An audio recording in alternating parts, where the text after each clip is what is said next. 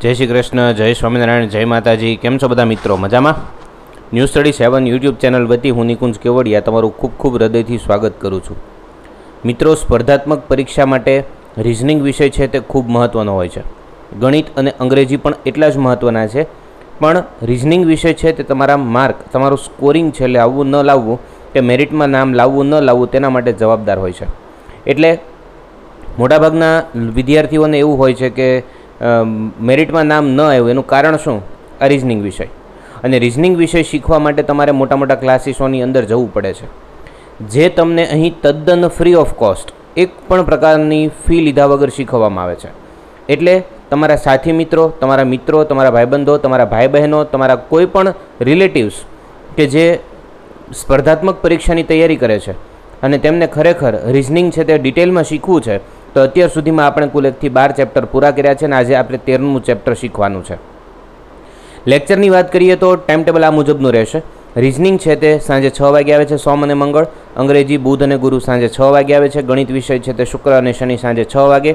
વિજ્ઞાન વિષય સોમ અને મંગળ એ ઓક્ટોબર મહિનાથી દસ વાગે શરૂ થશે. બધા લેક્ચર તમારે અત્યાર સુધીના મેળવવા હોય તો મને eight one double five eight zero eight six zero seven તમારી સામે નંબર છે, તેમાં જોઈન લખીને મોકલી દો. એટલે સ્પર્ધાત્મક પરીક્ષાના તમામ લેક્ચરો અત્યાર સુધી જે કંઈ ચાલ્યા છે તે લગભગ કલાક, પોણી કલાકની વચ્ચે આપણો લેક્ચર હોય છે. એટલે એક કલાક લેખે તમે અત્યાર સુધીના લેક્ચરો ગણો ને તો કેટલી કલાક મેં લેક્ચર તમને ભણાવી નાખ્યા. અને બધું પાછું પ્રૂફ સાથે કેવી રીતે?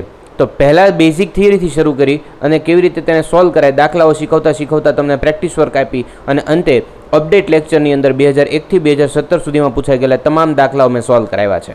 એટલે જો તમારે લેક્ચરો જોઈતા હોય તો મને તમારે લેક્ચર જોઈતા હોય તો ન્યૂ સ્ટુડન્ટ લખજો. એટલે મને ખ્યાલ આવે કે મારે તમને લેક્ચર મોકલવાના છે.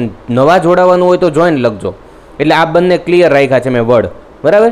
અને જો તમારે ટેલિગ્રામમાં જોડાવાનું હોય તો એની માટેનો વર્ડ છે NS seven new study seven માટે એનએસ સેવન લખીને મોકલી દો. એટલે ત્રણ કોડ છે આપણા. એ ત્રણ કોડ દ્વારા હું આખો સિસ્ટમ છે ગોઠવેલી છે. તમે એનએસ સેવન લખશો તો તમને ટેલિગ્રામ જોઈન થવા મળશે.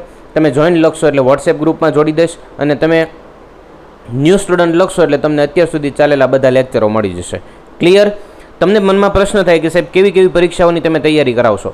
તો અત્યાર સુધી સ્પર્ધાત્મક પરીક્ષાઓની અંદર, જેમ કે UPSC, GPSC, PI, PSI, ASI DYSO મામલતદાર રાજ્યવેરા રજિસ્ટર હિસાબી અધિકારી SSC staff selection, GSRTC, army, police constable, high court, બિન સચિવાલય, office assistant, clerk, bank bank પરીક્ષા, તલાટી, Indian railway, RRB, MTS, state, TAT HTAT કોઈ પણ પરીક્ષા હોય, તમે આ બોલો એટલામાંથી કોઈ પણ પ્રકારની પરીક્ષાની તૈયારી કરી રહ્યા છો, તો તમે મને જોઈન લખીને મોકલી દો એટલે હું તમને ગ્રુપમાં જોડી દઈશ.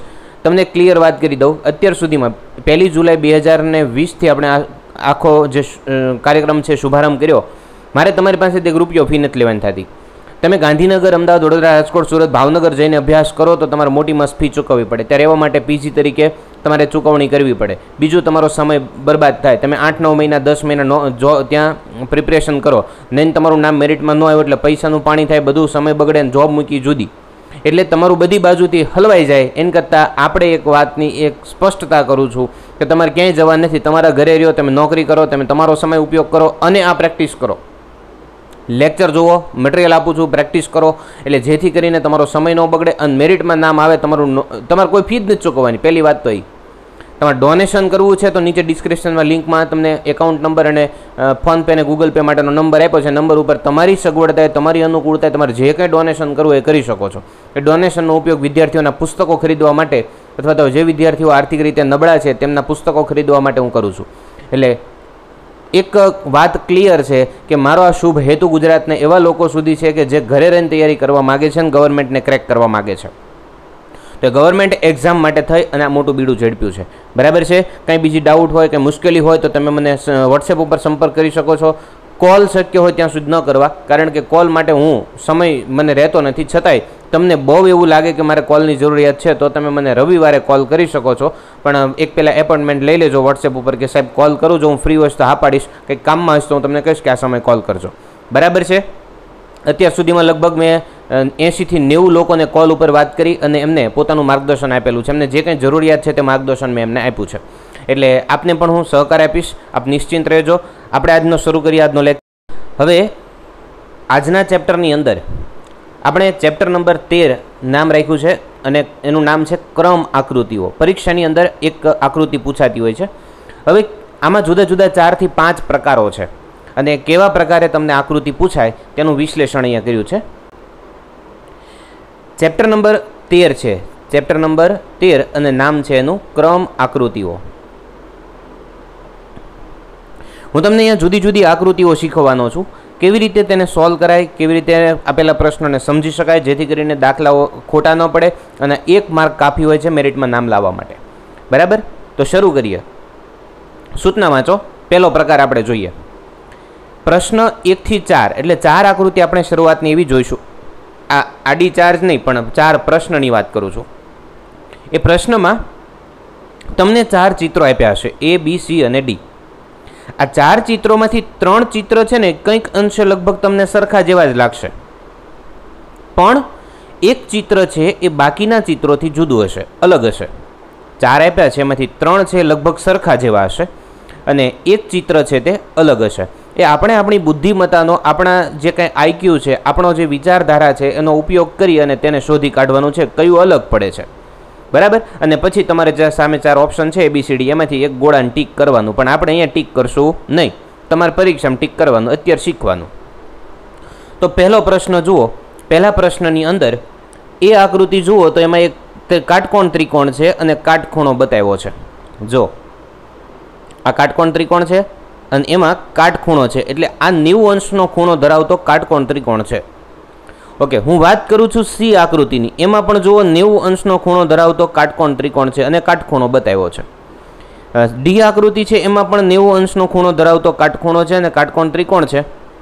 તો આ એક જ આકૃતિ એવી મને લાગે છે, તમને પણ લાગતી હશે, કે જેમાં કાટકોણ ત્રિકોણ નથી, લઘુકોણ ત્રિકોણ છે, જેમાં જે ખૂણાનું માપ નેવું અંશ કરતાં નાનું હોય. એટલે આનું માપ નેવું નથી, કેવું છે? નેવું કરતાં નાનું. ક્લિયર એટલે આ આકૃતિ છે તે અલગ પડશે, એટલે આપણો જે જવાબ છે એ કયો થશે? બી કોઈ વાંધો? કમ્પ્લીટ આવા પ્રકારના પ્રશ્નો એ પરીક્ષામાં તમને પૂછાતા હોય છે. અને ક્લાસ થ્રીની અંદર આવો એકાદ દાખલો પૂછી જ નાખે છે. તમને તમારું નામ મેરિટમાં લાવવું કે ન લાવવું, એની માટે અલગ વિદ્યાર્થીઓ નક્કી કરવા માટે થઈને આવા લોજિકલ ક્વેશ્ચન પૂછે.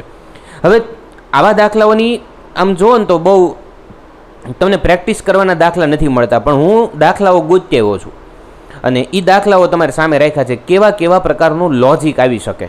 બરાબર છે? જુઓ, આ પ્રશ્ન બે જુઓ. ક્વેશ્ચન ટુની અંદર અહીંયા એક નાનું વર્તુળ છે, અહીંયા એક મોટું વર્તુળ છે. અને નાના વર્તુળમાં થઈને મોટા વર્તુળમાં પસાર થઈને નાના વર્તુળ સ્પર્શ કરે છે અને મોટા વર્તુળથી બહાર નીકળે છે. એવું એક તીર છે. અહીંયા જુઓ, બીજી આકૃતિમાં. નાનું વર્તુળ છે, એની ફરતે મોટું વર્તુળ છે અને નાના વર્તુળમાં થઈને મોટા વર્તુળમાંથી પસાર થતું એક તીર છે. અંદર નાનું વર્તુળ, બહાર મોટું વર્તુળ અને નાના વર્તુળમાંથી નીકળી અને બહાર વર્તુળ મોટામાંથી પસાર થઈને તીર નીકળે છે. ત્રણ આકૃતિઓ સમાન છે, પણ અહીંયા જુઓ ડી આકૃતિની અંદર બે વર્તુળો જુદા જુદા છે. આમાં શું હતું ત્રણમાં?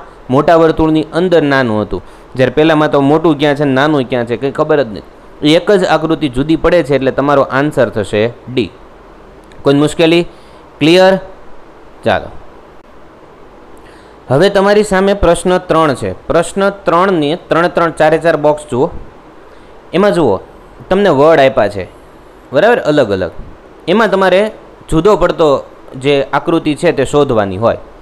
તો આમાં કેરેક્ટર કે છે, આઈ છે અને ટી છે. આમાં પણ કે છે, આઈ છે ને ટી છે. કે છે, આઈ છે, ટી છે. છે ને? કે, આઈ ટી. અને આમાં શું છે? કે છે, આઈ છે, પણ ટી નથી. એટલે આ એક જ આકૃતિ છે, એ બીજા કરતાં જુદી પડે છે. અને એટલે તમારો આન્સર થશે ડી. કોઈ મુશ્કેલી? ચાલો, એના પછી ચોથી આકૃતિ જુઓ. ચોથી આકૃતિમાં પહેલાં તો એક ચોરસ છે. બરાબર? ચોરસની અંદર એક વિકર્ણ છે. અને પછી એક નાની એવી લાઈન ડ્રો કરી છે. જુઓ. ડ્રો કરી છે. તો હું એમ કહેવા માગું છું કે ચોરસ અને વિકર્ણ તો બધાયમાં છે. જો ચોરસ છે, પહેલી આકૃતિમાં ચોરસ છે અને વિકર્ણ છે. બીજી આકૃતિમાં ચોરસ છે, વિકર્ણ છે. ત્રીજી આકૃતિમાં ચોરસ છે, વિકર્ણ છે. ચોથી આકૃતિમાં ચોરસ છે, વિકર્ણ છે. ફેર કેટલો છે? તો અહીંયા જુઓ, બી આકૃતિ જુઓ. એમાં બાજુ ઉપર ડેશ છે. સી આકૃતિમાં બાજુ ઉપર ડેશ છે. ડી આકૃતિમાં બાજુ ઉપર ડેશ છે. જ્યારે એ આકૃતિમાં વિકર્ણ ઉપર ડેશ છે. માત્ર એક જ આકૃતિ જુદી પડે છે અને એટલે આન્સર થશે એ. કેમ લાગશે? આ લોજિકલ ક્વેશ્ચન્સ છે. આ આમાં બુદ્ધિ દોડાવવાની હોય, આમાં ગણતરી ન હોય, આમાં તમારે તમારું મગજ કેટલું હાલે છે એની ઉપર. હવે તમને આઈડિયા આવી અને હવે આટલા દાખલા સોલ્વ કર્યા ચાર. એટલે ખબર પડી ગઈ કેવા પ્રકારના દાખલા પૂછાય. આપણે અત્ર તત્ર સર્વત્ર બધું કરી નાખવાનું છે. કંઈ વસ્તુ બાકી રાખવાની થતી નથી. ચાલો. હવે જુઓ ભાગ બે. હવે ભાગ બે એટલે કે પ્રકાર બીજો. બીજા પ્રકારની અંદર હવે તમને ક્વેશ્ચન પૂછવાની રીત બદલી નાખી છે. સૂચના વાંચો. પ્રશ્ન પાંચથી આઠ જે છે, એમાં ડાબી બાજુ તમને એક પ્રશ્ન ચિત્ર આપ્યું છે. અને જો અહીંયા આપણને એક દિવાલ કરીને આપી છે કે ભાઈ આ તમારી દિવાલ ડાબી બાજુ છે તે પ્રશ્ન છે અને જમણી બાજુ છે ચાર આકૃતિ છે. એમાંથી તમારે શું કરવાનું એનું સૂચના આપી છે. જો વાંચો. ડાબી બાજુ પ્રશ્ન ચિત્ર છે. જમણી બાજુ એ બી સી અને ડી એમ ચાર ચિહ્નિત ઉત્તર ચિત્રો છે. ચાર તમને ચિત્રો જમણી બાજુ આપ્યા છે, ઉત્તર આકૃતિઓ. આ ઉત્તર ચિત્રોમાંથી, એટલે કે આ જે ચાર ચિત્રો છે, એમાંથી પ્રશ્ન ચિત્રના સમરૂપ સમરૂપ એટલે મેચિંગ એક્ઝેક્ટ એના જેવું જ દેખાવમાં, એની આકૃતિમાં, એની ડિઝાઇનમાં, એના નાના નાના ભાગોમાં એવા ચિત્રનું ચયન કરો. ચયન કરો એટલે દર્શાવો. કયું છે? તો આ આકૃતિમાં જેવું જ બિલકુલ આ ચારમાંથી કયું ચિત્ર છે જો એ મળી જાય તો તમારે એની ઉપર ટીક કરવાનું. એ હોય તો એ બી હોય બી સી હોય સી ડી હોય ડી. જુઓ, આ ચિત્રનો પહેલાં તો અભ્યાસ કરો. આ ચિત્રમાં એક વર્તુળ છે. વર્તુળની વર્તુળને ચાર ભાગ પાડ્યા છે. એ ચાર ભાગની અંદર ઉપર બે ગોળા છે, નીચે બે લીટા છે અને વચ્ચે ચોરસ જેવું છે.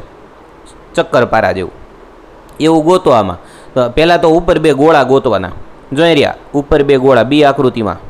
પછી આ ચાર ભાગ છે. અરે વાહ, નીચે બે લીટા છે ને વચ્ચે ચક્કરપારા જેવું છે, ચોરસ ને વર્તુળ, ઓકે, આપણી આકૃતિ ફાઇનલ થઈ ગઈ બી. બાકી એક એમાં એવું નથી, ગોળા આમાં નીચે છે. એટલે એ ન હાલે. ગોળા આમાં જમણી બાજુ ને આમાં ડાબી બાજુ એ ન હાલે. એટલે આપણી આકૃતિ કઈ? બી. તો આવું તમને પૂછાય. એટલે ઘણી વખત શું થાય કે આમાં તમે મિનિમમ કેટલો ટાઈમ વપરાશ કરો છો, એના ઉપર તમારું મેરિટ નક્કી થતું હોય. કારણ કે બાકીના પ્રશ્નો છે, એ અઘરા આપ્યા હોય, આ સહેલા આપ્યા હોય, પણ સહેલામાં તમે કેટલો સમય? આ આટલું ચેક કરવા માટે ઘણા લોકો આખી અડધી મિનિટ લઈ લેતા હોય. આખી મિનિટ ક્યારેક લઈ લેતા હોય કે આમાં શું કરવાનું? ત્યારે અમુક લોકો છે એક સેકન્ડ વધીને આમ નજર ફેરવીને તરત જવાબ આવે ઉપર બે ગોળા, ઉપર બે ગોળા, એટલે ચિત્ર આ સીધું વાત થાય પૂરી. પણ ટીક જ કરી નાખે સીધું.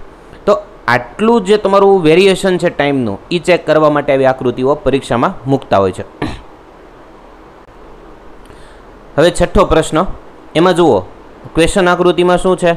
તો એમાં તો આ રામભૂતની ચોકડી અથવા તો ઉત્તર દક્ષિણ દિશા ને એમાં તીર છે ને બહારની બાજુવાળા છે. આ ભૂલ ન થાય. એટલે એવું ક્યાં છે? જોઈ રહ્યું સી આકૃતિમાં. આ તમારો આન્સર ક્લિયર સાતમો પ્રશ્ન જુઓ. એમાં મોટો ત્રિકોણ છે ને આ આમની બાજુ જાય છે, જમણી બાજુ. એક ત્રિકોણ ડાબી બાજુ જાય છે એવો સરસ મજાનો એક, બે, ત્રણ, ચાર ને પાંચ પંચકોણ છે. તો એવું ગોતો, ક્યાં છે? જોઈ રહ્યું, આમાં.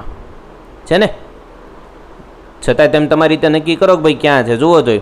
તો હું તો એ કહું ભાઈ તો કે હા, ઈ ને, પહેલાં તો આ ન આવે. કેમ તો કે આમાં આમાં ઊંધા મોઢાવાળું છે. એક તો આ ન આવે. હવે બે વધ્યા. એક આ વધ્યો અને એક આ વધ્યો. જુઓ, આમાં આડી લીટી નથી. નથી? આમાં આડી લીટી છે એટલે આ ન આવે. આમાં આડી લીટી નથી એટલે આ આવે. તમારો આન્સર થશે બી. અને તમારી નજર શાર્પ હોવી જોઈએ. ઘણા હરક પદુડા થઈ અને વિચારીને લખીને શું આવે ખબર? એ કે આમાં પંચકોણ તો આમાં પંચકોણ, વાત થાય પૂરી. એમ નથી. પંચકોણ તો બદામ છે. પણ અંદર જે લાઈનો ડ્રો કરી છે એ કેટલી છે, એના ઉપર ડિપેન્ડ છે. હવે આ ક્વેશ્ચન નંબર આઠ જુઓ. ક્વેશ્ચન આઠની અંદર જુઓ તો આમનામ ખબર પડી જાય. આ ક્વેશ્ચનમાં શું છે? તો કે આ એક આ એક અને આ એક. પણ જોજો, ઉપર એક ખાનું ખાલી, અહીંયા હેઠે બે ખાના ખાલી, જમણી બાજુ બે ખાના ખાલી. એવું ગોતો. તો જમણી બાજુ બે ખાના ખાલી, અહીંયા બે ખાના ખાલી, અહીંયા એક ખાનું ખાલી, જો ઢીસોંગ ઢીસોંગ ઢીસોંગ. આકૃતિ બી, વાત પૂરી. સમજાઈશ ને? આ કેમ નહીં? તો કે એમાં ત્રણ ખાના ખાલી છે. એવું ક્યાં એવું જ નથી આમાંય ત્રણ ખાના ખાલી. એવું જ ક્યાં એવું જ નથી આમાંય ત્રણ ખાના ખાલી. એવું ક્યાં એવું છે? નજર તમારી શાર્પ હોવી જોઈએ. અને જેથી આ દાખલા એ કડકડાટ, ફટફટ ફટફટ સોલ્વ થઈ જાય. હવે આપણે શીખવાનું છે ટાઈપ ત્રણ, એટલે કે પ્રકાર ત્રણ. ત્રીજા પ્રકારના દાખલા જોવાના છે. સૂચના વાંચો. હવે વેરાયટી બદલાણી. પ્રશ્ન સંખ્યા નવથી બારમાં ડાબી બાજુ એક પ્રશ્ન ચિહ્ન આપેલું છે, જેનો એક આખે આખો ભાગ જ ગાયબ થઈ ગયો, લુપ્ત થઈ ગયો અદૃશ્ય થઈ ગયો ઇનવિઝિબલ થઈ ગયો. જમણી બાજુ જે ચાર કટકા આપ્યા છે ને, એમાંથી એક કટકો આ આકૃતિમાં ફિટિંગ થશે. તો ઉત્તર ચિત્રને જોઈ અને એમાં દિશા બદલ્યા વગર તમારે પ્રશ્ન ચિત્રમાં નમૂનાને પૂરો કરવાનો છે કે જે ભાગ તમારે ગાયબ થઈ ગયો હતો. એને તમારે ફિટિંગ કરીને બંધ બેસાડી દેવાનો છે. જે કટકો ફીટ બેસે એ તમારો જવાબ. એટલું સમજાણું? ક્લિયર ચાલો, જુઓ. અહીંયા તમારે એક કટકો ખાલી છે. આ ત્રણ તો આપ્યા છે. ત્રણના આધાર તમારે ડિઝાઇન નક્કી કરવાની ડિઝાઇન નક્કી કરી અને તમારો કટકો આમાં જ ગોતીને ફીટ બેહાડી દેવાનો. જેમ કે, જુઓ. અહીંયા શું છે? માનો કે આ ડિઝાઇન પૂરી કરવી હોય તો કાંઈ નહીં. પૂરી કરવા માંડો. હાલો, અહીંયા આ લાઈન જોશે. પછી શું જોશે? તો કે અહીંયા બોર્ડર જોઈશે બહારની બાજુ. હે ને? પછી અંદર તો કે આ ટપકા જોઈશે કમ્પ્લીટ અને અહીંયા તો કે કાટખૂણો જોઈશે રેડી જુઓ. આ કાટખૂણો. એટલે આવું હોય એવું ગોત્યા હો. એટલે નીચે ઝાલર હોવી જોઈએ, ઉપર ટપકા હોવો જોઈએ હેઠે કાટખૂણો હોવો જોઈએ. તો એવું જો માર્યું. હેઠે ઝાલર, ઉપર ટપકાને હેઠે કાટખૂણો. આ આકૃતિ તમારો આન્સર. એટલે તમારો આન્સર શું થશે? ડી સમજેશ વાતને તમારે ખૂટતો કટકો પૂરો કરવાનો થાય. અને ખૂટકો ખૂટતો કટકો પૂરો કરવો એટલે તમારે શું કરવું એ કટકો દોરી નાખવાનો ત્યાં એ દોરી નાખો એટલે આમાં મેચિંગ મળે. એમ ન કરવું એને વિચારીને કરો, તોય મને વાંધો નથી કે દોરવાર એવું જરૂરી નથી, પણ આ તો ઘણા ન એમને ખબર પડતી હોય. કારણ કે ગણિત પાછો એનો વિષય ન હોય. બરાબર? ભાષાના વિષય હોય તો એને પછી ન ખ્યાલ આવે કેવી રીતે કરવું. અને આવું તો બેરોને વધારે મજા આવે. કારણ કે એને શું ભરત કામ કર્યું હોય, હાડિયું ભરી હોય, ડ્રેસ ભર્યા હોય એટલે એને વધારે મજા આવે. આવી આકૃતિ જલ્દી સોલ્વ કરી નાખે અને આપણે રહી જઈએ. કાંઈ વાંધો નહીં, હાલો એ એના ભાગનું એ લઈ જાય. આપણે શું, બેનો છે ને, બેનોને વધારે દેવાનું એટલે આપણને પાછું વધારે મળે. કાંઈ વાંધો નહીં. હવે જો પ્રશ્ન દસ અને અગિયાર તમારી સામે મૂક્યા. પ્રશ્ન દસ. ફરી પાછું એની પેટર્ન શું? તો કે જો આની અંદર અહીંયા આ પૂરું કરવું એટલે ડ્રો કરવું પડે. પછી આમાં શું છે ખબર છે? આમાં આમ આ ચોરસ જુઓ, આ.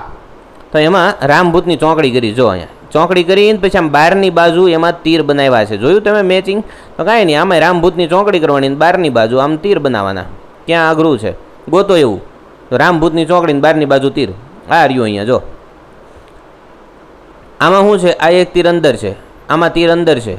આમાં ગોતો, આ તીર અંદર છે, ન હાલે. આમાં એકમાં જ બધા તીર બહાર છે. એટલે આ આવશે તમારી આકૃતિ. ફિટિંગ સમજાય છે ને? બંધ બેસથી આકૃતિ બનાવવી હોય તો. ચાલો. અહીંયા જોઈ લો, અગિયારમો પ્રશ્ન. હવે અગિયારમાં પ્રશ્નમાં જો તમારે આ જ પ્રકારે કરવું હોય તો અહીંયા આમ કરી નાખો, અહીંયા આમ કરી નાખો, પછી આ આ કલર પૂરી દો સમજાય છે? અને આ કલર પૂરી દો એટલે જો બની ગયું મેચિંગ હજી નથી બન્યું. વચ્ચે તમારે એક લાઇન ડ્રો પણ કરવાની થાય. હવે મેચિંગ થઈ ગયું, જોઈ લો. તો આવું ગોત્યાઓ તો જો ચોખ્ઠું એવું ગોતવાનું જેમાં જમ, ઉપર કલર, નીચે કલર, વચ્ચે આમ લીટો, તો આ આકૃતિ તમારી બેહેશ. ફિટિંગ.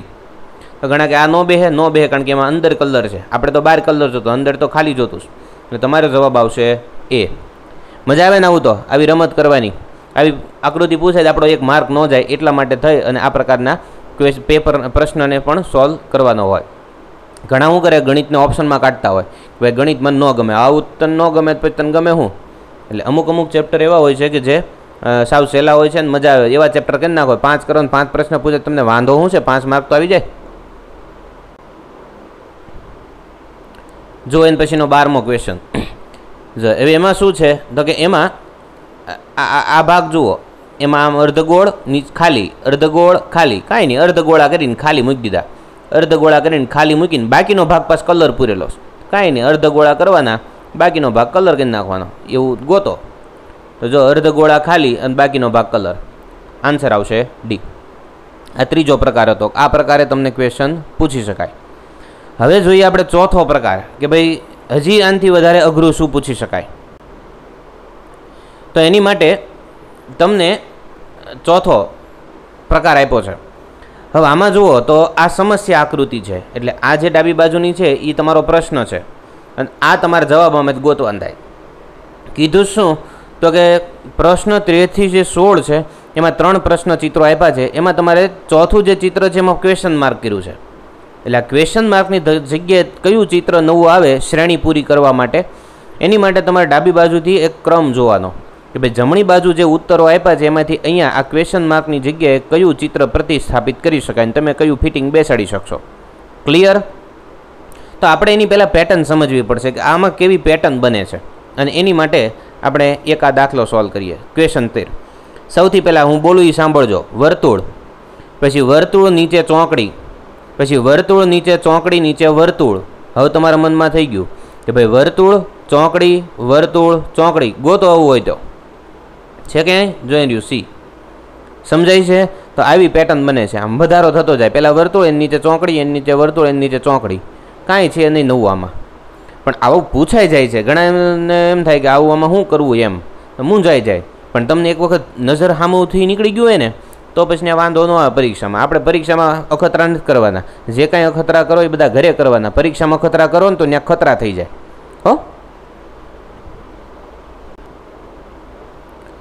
જુઓ, ચૌદમો ક્વેશ્ચન અને પંદરમો ક્વેશ્ચન બે ક્વેશ્ચન તમારે સામે છે. હવે આકૃતિ જુઓ, એમાં તમારે મેચિંગ જોવાનું છે શું બને છે પેટર્ન શું બને છે.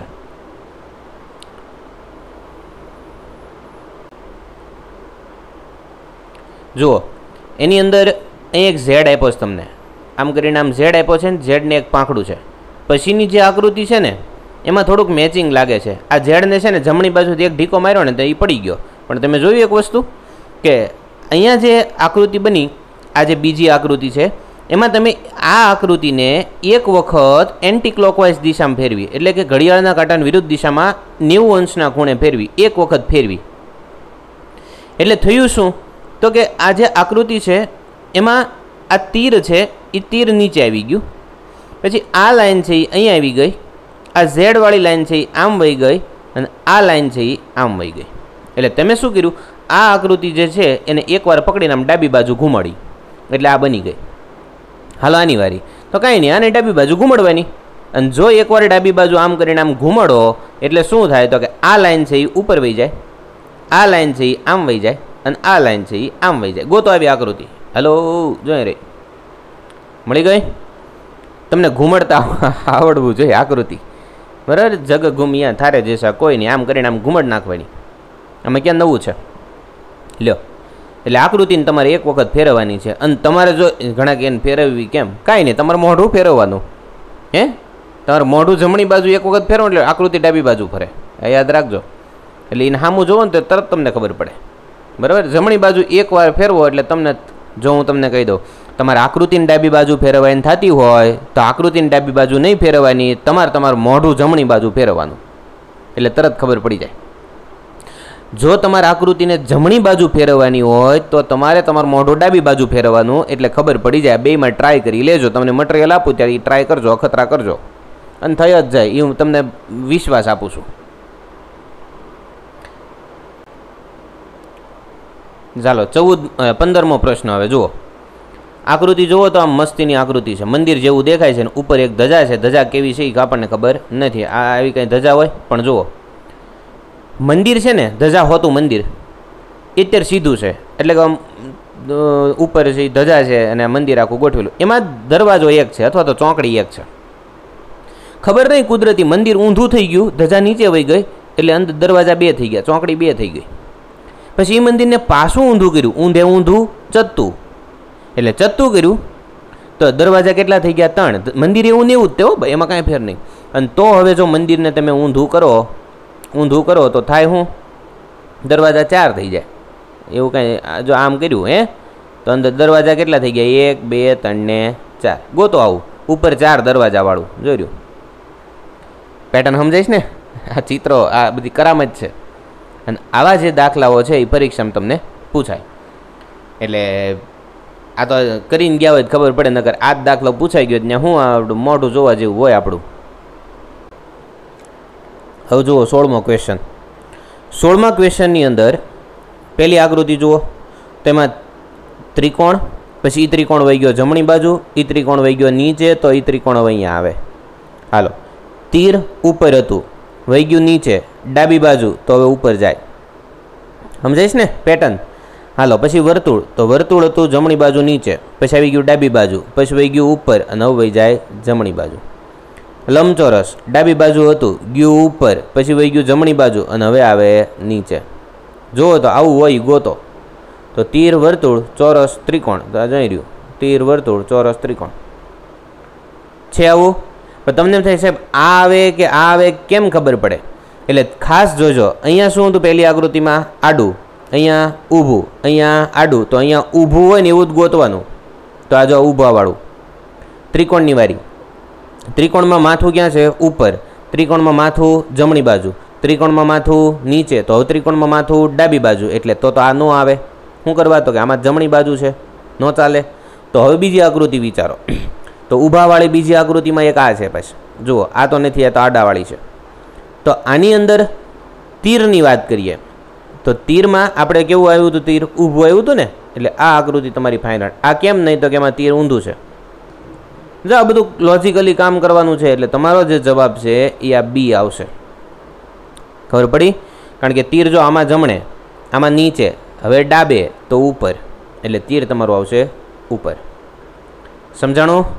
તો આવી રીતે જો આકૃતિને ક્લિયર તમે સમજશો, તો તમને કોઈ વાંધો નહીં આવે.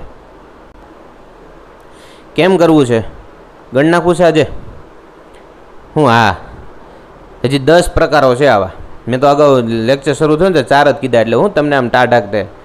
કે ભાઈ, હાલો લેક્ચર જોઈશું, ચાર જ છે ને? હમણાં પૂરો થઈ જશે લેક્ચર પણ પાંચમો જોઈ લઈએ, આજે મજા જ આવે ને આમાં ક્યાં કંઈ કરવાનું છે? સાંભળો ને જોવો ને તમને હું વાંધો જ કંઈ.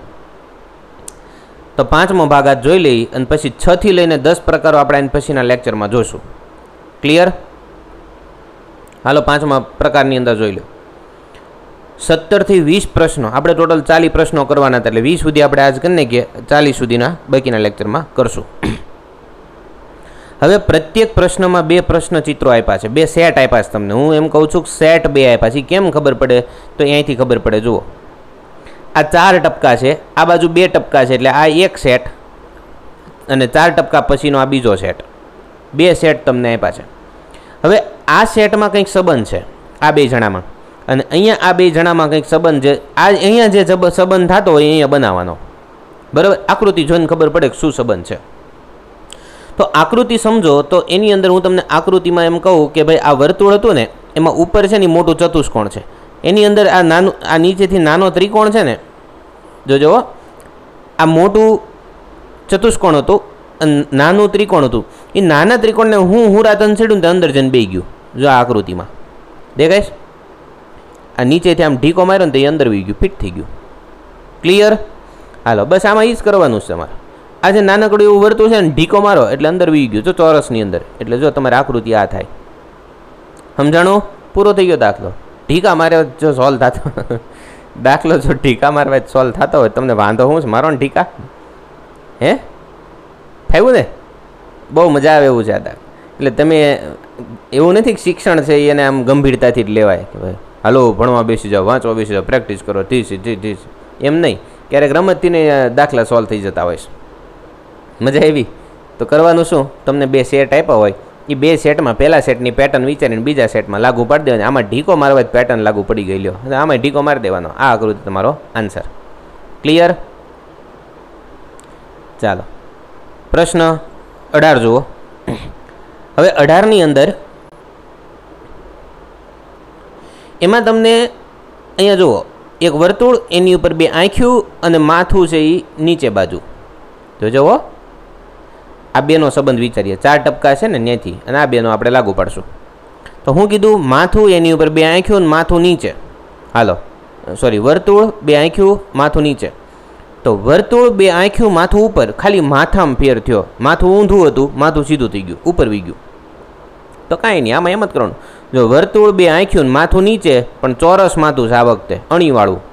તો અહીંયા છે વર્તુળ, બે આંખ્યું અને આ વખતે માથું ઉપર આવું ગોત્યાઓ. જોઈ રહ્યું? દેખાય છે? સી તમારો આન્સર. હા, ઓલામાં ઢીકા મારવાથી ને આમાં માથા ગોઠવવાથી જો થઈ જતું હોય તો માથા ઢીકા મારવા. હો? આપણા પોતાના તે, કોકના નહીં. ફાવશે?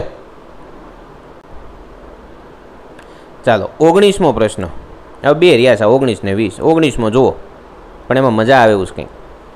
જો આ બે જણા અને આ બે જણા તો કે એમાં બીજો જણો ક્યાં છે? ગોતવાનો છે આપણે. પહેલાં શું છે? કોરું ચોરસ. અને પછી એને શું કર્યું? રામભૂતની ચોકડી. હાવ હેલું. જોજો હો, સમજો હામ હામેના ખૂણાને જોડ્યા છે. જેટલા હોય ને એટલા હામ હામેને બધા ખૂણા જોડ નાખ્યા. ક્લિયર આમાં આપણે એ જ કરીએ ને જો. આ છે કોરી આકૃતિ. હવે એમાં શું કરવાનું? હામ હામેના બધા ખૂણા જોડી દેવાના. હેલો એક આ. પછી એક આ બીજો. પછી એક આ ત્રીજો. કેટલા થયા? ત્રણ થયા? હાલો, પછી એક આ ચોથો, પછી એક આ પાંચમો. હામ હામેના બધાને જોડી દેવાના થાય છે. આપણી આકૃતિ આ આવશે, આકૃતિ એ. હે સાહેબ, આ કેમ નહીં? તો કે એમાં આ બાકી જોડવાનો. આ બાકી છે, આ બાકી છે. આ કેમ નહીં? તો કે એમાં આ બાકી છે. છે ને? આ બાકી છે. આ કેમ નહીં? તો કે એમાં આખું ગામ બાકી જો. ક્લિયર? આ બાકી આ બાકી આ બાકી. એટલે તમારો આન્સર આવશે એ. કંઈ વાંધો? એન પછીનો છેલ્લો અને વીસમો. બરાબર? જોજો હવે. મજા જ આવ્યા કરે એવું છે. હવે આની અંદર આ બે જણા, આ બે જણા એ બીજો જણો આપણે ગોતવાનો. હવે આ એક મોટું ખેતર છે. અને ખેતરની અંદર ઘઉં વાવ્યા છે. ચાર ભાગ પાડી દીધા. ચાર ભાઈઓ એટલે ચાર ભાગ પાડવા પડે.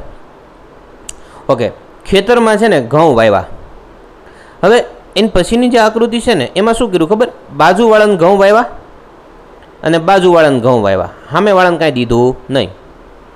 જોયું તમે? પાડોશીને આમ તો આપણા ઘરે પાડોશી હોય તો આપણે કોને કોને દઈ? આપણી બાજુની દિવાલવાળાને, આપણી જમણી બાજુની દિવાલવાળાને. સામેવાળાને ઘરે દેવા કોણ જાય? કારણ કે વચ્ચે રસ્તો આખો ટપીને જાય તો આખું ગામ જોવે, આખી સોસાયટી જોવે. એટલે આપણે ખાલી આમ વંડીએ થંભાઈ દી ગાલ્યો ભાઈ લઈ લેજો ને કહેતા નહીં, ખાઈ લેજો. એટલે બાજુમાં અને બાજુમાં. જોયું તમે? આ બાજુ, એક મિનિટ હો, મારી પેન્સિલ વહી ગઈ. હા. આ બાજુ અને આ બાજુ. જો, આ બે જણાને એને આપ્યું સામેવાળાને કાંઈ આપ્યું નહીં. ઠંઠન ગોપાલ. તો કાંઈ નહીં, આપણે આમાં એમ જ કરવાનું પેટર્નમાં કે આ બાજુવાળાને દો બાજુવાળાને દો સામે કાંઈ દેવાનું નથી. એટલે સામેવાળું કોરું રાખવાનું અને અહીંયા તમારા પેટર્ન ભરેલી હોવી જોઈએ. તો એવી આકૃતિ આ છે. છે? જો એણે બાજુવાળાને દીધું, એણે બાજુવાળાને દીધું, સામેવાળાને ખાલી રાખ્યો. આપણે હું? જવાબ તો આવી ગયો. સમજાઈશ ને? જો ઢીકા મારવાથી, માથાને ફેરવી નાખવાથી પછી આમાં રામભૂતની ચોંકડીઓ કરવાથી અને ખેતરોમાં બાજુવાળાને આપણે બધા જે કાંઈ વસ્તુ દેતા હોય દેવાથી સોલ્વ થઈ જતા હોય, તો પછી આ કરજો અને આમ જ વિચારજો.